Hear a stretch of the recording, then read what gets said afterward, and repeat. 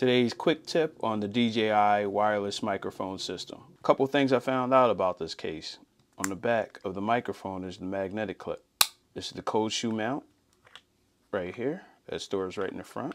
Now, one of the, the first problems I, I, I thought I had was that when you connect the adapter, like let's, I put this USB-C on here, and then I'm like, okay, I'm done now.